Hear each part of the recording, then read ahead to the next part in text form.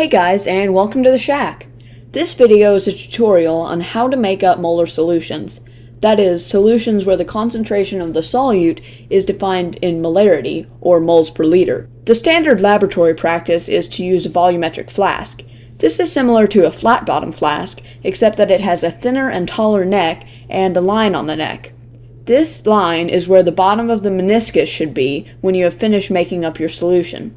These flasks come in different sizes so that you can make different volumes of solution. To use a volumetric flask, you simply weigh out a certain mass of the solute and add it to the flask half full of your solvent. Once the solid is dissolved, you continue adding the solvent until the appropriate volume has been reached. But you don't need to spend extra money on volumetric flasks. You can make up a molar solution with a graduated cylinder and a beaker, and you probably have tons of those already. The solution that I will be preparing is a 1 molar solution of potassium hydroxide to use for titrations in future videos, and I want about 200 milliliters of this solution.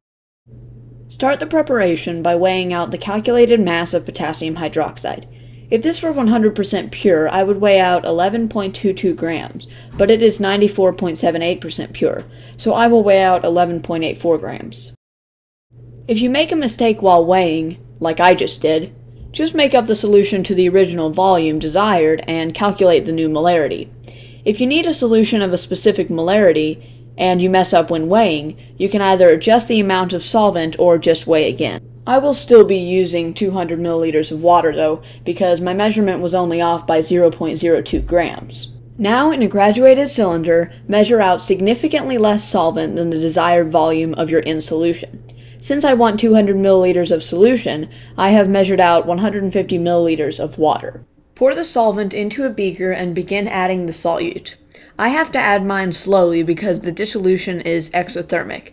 If the dissolution is endothermic, or only mildly exothermic, you can just add it all at once. Make sure to rinse out the weigh boat with some of your solvent to ensure maximum transfer of the solute. Once the solute is completely dissolved, Pour the solution back into the graduated cylinder, rinsing the beaker several times, again to ensure maximal transfer. If you use a stirring rod, make sure to rinse that off as well.